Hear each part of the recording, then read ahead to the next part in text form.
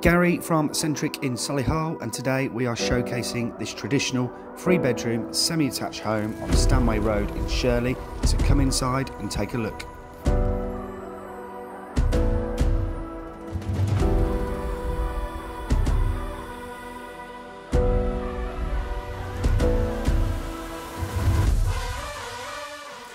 So internally, the owners have got it extremely tastefully decorated, retaining plenty of original features. So downstairs, you've got two formal reception rooms, large eating kitchen, rear conservatory.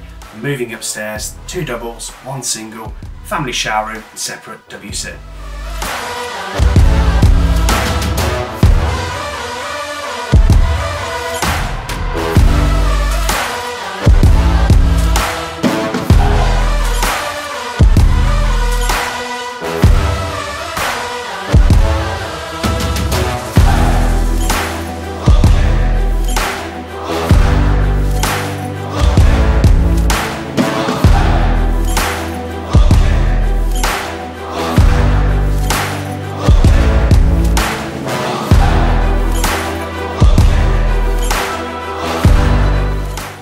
So as you've seen, the house is absolutely immaculate inside and don't forget the excellent school catchments. So for more information, contact myself, Gary or Nancy on 0121 705 3242 option 1.